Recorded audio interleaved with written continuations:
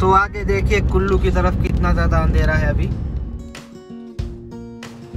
तो hello everyone तो कल रात को जो है हम पहुँच चुके थे चंडीगढ़। तो चंडीगढ़ में जो है अभी हमने रात को स्टे किया।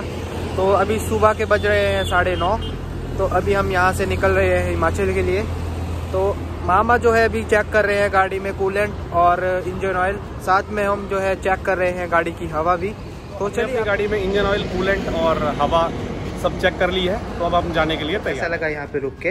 अच्छा लगा और अब हम नीचे जा रहे ब्रेकफास्ट करने और फिर ब्रेकफास्ट के बाद हम यहाँ से निकलेंगे।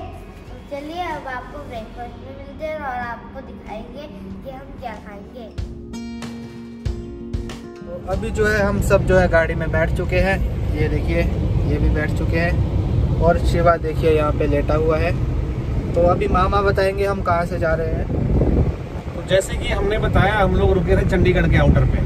तो अब कुल्लू जाने के लिए हमको चंडीगढ़ के थ्रू एंड थ्रू जाना पड़ता है, लेकिन हम लोग सिटी ट्रैफ़िक को अवॉइड करने के लिए हमने क्या किया कि चंडीगढ़ के बाहर से रास्ता लिया। ये गाँव का रास्ता है और चंडीगढ़ अभी हमारी राइट साइड पे है। तो ये एकदम गाँव का रास्ता एकदम बढ़िया यहाँ पे ज़्यादा ट्रैफ़िक रहती नहीं और आप इजीली जो है सिटी ट्रैफ़िक बाईपास करते हुए निकल सकते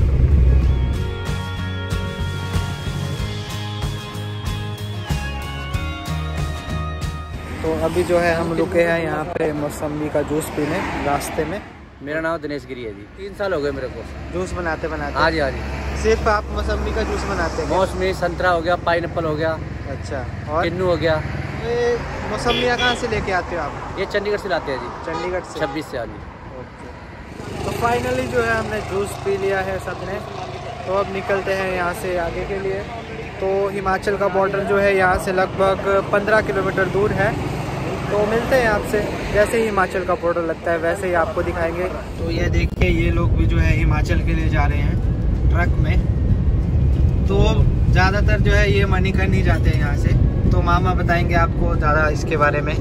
ये लोग कहाँ जाते हैं? तो बेसिकली कुल्लू डिस्ट्रिक्ट पे एक जगह है जिसको हम लोग बोलते हैं मणिकर्ण साहब। ये जो है सिखों का एक बहुत बड़ा ग्रिमेज है। और वहाँ पे क्या है कि गर्म पानी के ना चश्मे हैं बहुत सारे। तो वहाँ पे गुरु नानक देव जी ने क्या किया था कि गर्म पानी में पानी में चावल बनाए थे। और सिख लोग क्या करते हैं कि वहाँ पे उस जगह पे काफ़ी भारी मात्रा में घूमने जाते हैं। तो जो थोड़े से अमीर लोग रहते हैं, वो तो अपनी गाड़ी वगैरह करके जाते हैं, लेकिन गरीब लोग भी बहुत जाते हैं, जो आपने अभी देखा।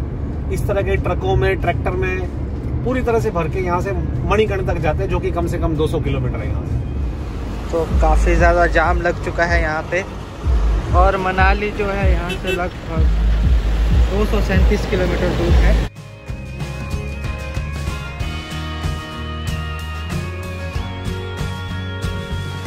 तो अभी हम हिमाचल में रुक चुके हैं देसी ढाबा में।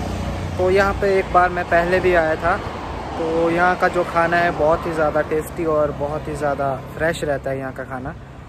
तो यहाँ पे एक बार क्या हुआ था कि सामने वाले तरफ़ वो देखिए, उस तरफ़ में एक बार हमारी गाड़ी ख़राब हुई थी तो हमने वहाँ पे जो है अपना गाड़ी को ठीक करवाया था।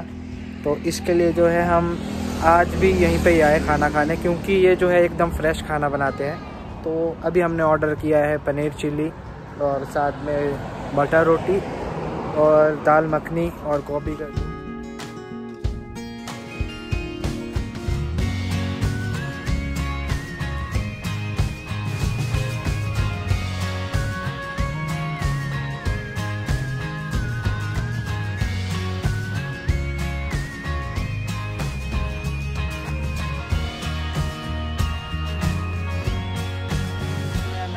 आया था आ, सनी भाई के पास।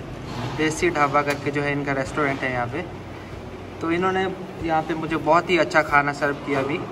तो कुछ कहना चाहेंगे सनी भाई आप कैसे बनाते हो इतना अच्छा खाना? जी बस प्यार मिला होता है और थोड़ा आप लोगों का जैसे विश्वास है हमारे पर। भाई हमारे पास आए हैं सेकंड टाइम कि पीछे सारे ढाबे छोड़ के। हाँ जी। तो इन्हें बहुत बहुत हम वेलकम करते हैं भाई को थैंक यू तो अभी जो है हम पीछे हवेली में खाना खाने रुकने वाले थे पर वहाँ का जो खाना है वो उतना भी टेस्टी नहीं है जितना सनी भाई का खाना अच्छा लगता है हमें। तो सनी भाई ये कौन सी जगह है यहाँ पे? ये भाई मस्सेवाल। मस्सेवाल। केतपुर साहब जब आप पहुँचेंगे वहाँ से आठ नौ किलोमीटर ऊपर आइए। ओके। तो आप पहुँचेंगे यहाँ पे तो बी देसी हमारा ढाबा है। हम्म। आपको मेन हाईवे पे ही है मनाली हाईवे पे। ओके। तो जब भी आप आए तो तभी जाइए। तो अगर कोई हमारे सब्सक्राइबर अगर यहाँ पे आना चाहेंगे तो कैसे कांटेक्ट करेंगे आपसे? जी हम हमारा नीचे भी बोर्ड लगे हुए हैं रोड पे। हम्म, आपको वहाँ से हमारा कॉन्टैक्ट नंबर वगैरह मिल जाएगा। ओके तो कॉन्टैक्ट नंबर आप बता सकते हैं हमें? जी जी। Nine zero okay four one two five three double four one ये मेरा सनी नाम से होगा शिवम नाम से होगा। ओके भैया। थैंक यू ओके मिले थे सनी भाई से जो कि यहाँ देसी ढाबे का ओनर है। तो काफ़ी अच्छा लगा उनसे मिलके। तो अब निकल रहे हैं हम हिमाचल के लिए आगे। तो चलिए तो है। हिमाचल की चढ़ाई एकदम शुरू हो चुकी है। तो एंटर कर चुके हैं हम हिमाचल में।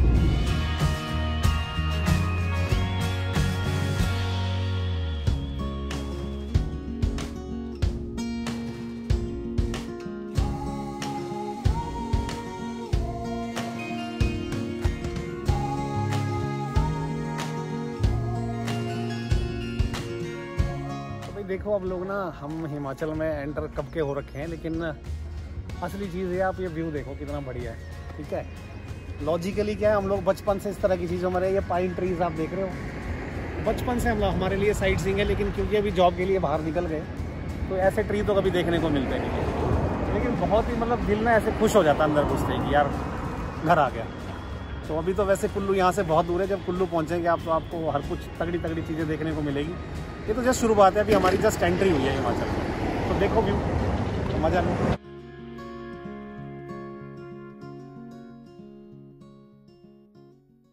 मतलब एक सौ पच्चीस रुपये पेट्रोल भरा था महाराष्ट्र में और यहाँ अपने होम स्टेट में भरा है एक सौ चार। तो क्यों है यहाँ पे इतना कम पेट्रोल का रेट? नहीं हाँ? यहाँ पे। गवर्नमेंट कम, tax government tax tax Himachal government ना ज़्यादा टैक्स नहीं लेती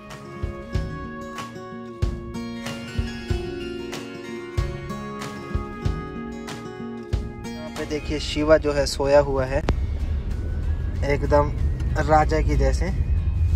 खराटे भी लगा रहा देखिए। तो आगे देखिए कुल्लू की तरफ़ जो है काफ़ी ज़्यादा मौसम खराब है। तो अभी हम आपको दिखाएँगे यहाँ पे एक सलापड़ करके जगह है, जहाँ पे कि काफ़ी बड़ा हाइड्रो इलेक्ट्रिक प्रोजेक्ट है। ये बहुत ही पुराना प्रोजेक्ट है। ब्याखड़ा और ब्यास मैनेजमेंट बोर्ड का है ये। एक्चुअली इसमें क्या किया गया था कि ब्यास रिवर को लाके सतलुज में मिलाया गया है इस पर्टिकुलर प्रोजेक्ट को। तो अभी आप वो सामने देखिए सामने जो है उसका वो स्विच यार्ड है जो सामने आपको दिख रहा है। और अभी इसका पावर हाउस आएगा हम आपको थोड़ी देर में उसका पावर हाउस दिखाएँगे और सतलुज रिवर आने वाली होगा कि सतलुज रिवर जो है उसमें ब्यास रिवर का पानी जो है मिक्स किया जाएगा वो हम आपको थोड़ी देर में दिखाएँगे। तो ये है पावर हाउस ये है सतलुज नदी।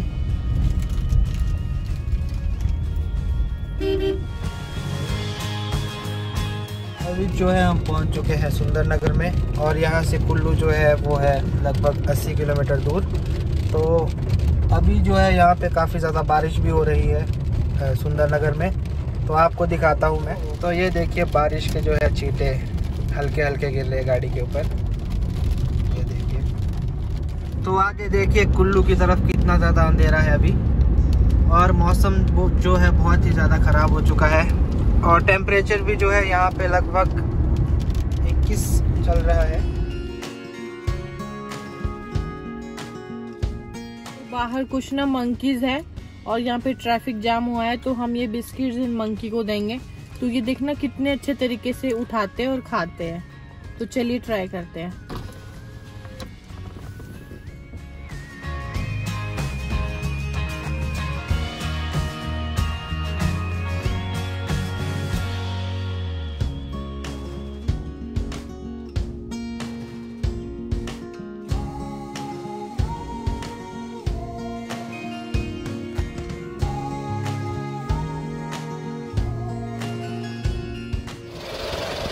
मंडी में भी जो है काफ़ी ज़्यादा जाम लग चुका है।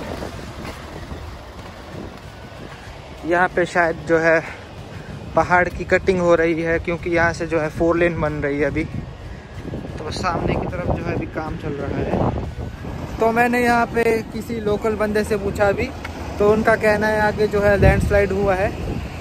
तो चलिए दिखाते हैं आपको, अगर हमें रास्ते में दिखता है तो। देखिए क्रेन जो है वो रास्ता क्लियर करके आ चुकी है।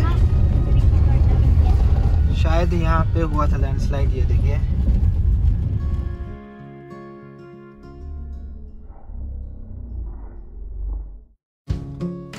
तो अभी जो है हम पढ़ो में आ चुके हैं तो अभी रुके हैं हम यहाँ पे चाय नाश्ता करने। यहाँ पे बहुत ही कम है टेम्परेचर 15 डिग्री सेल्सियस है टेम्परेचर जो कि बहुत ही कूलिंग है और हमको बहुत ठंडी सी लग रही है तो हमने सोचा थोड़ी चाय पी लेते हैं और थोड़ी सी फ्रेशनेस आ जाएगी।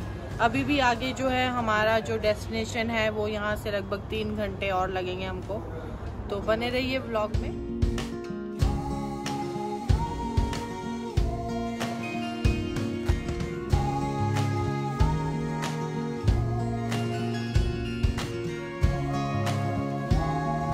अभी जो है हम पहुँच चुके हैं भुंतर तो ये है जे जे रिजॉर्ट और साथ में है इसके संध्या पैलेस।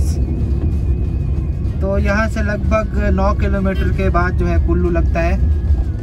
फाइनली जो है मैं घर में पहुँच चुका हूँ और मैंने डिनर भी कर लिया है। तो अभी जो है रात के बज रहे हैं डेढ़। तो आज के वीडियो को जो है मैं यहीं पे ही एंड करता हूँ। अब मिलूँगा आपसे नेक्स्ट ब्लॉग में। आज के लिए बस इतना ही, धन्यवाद।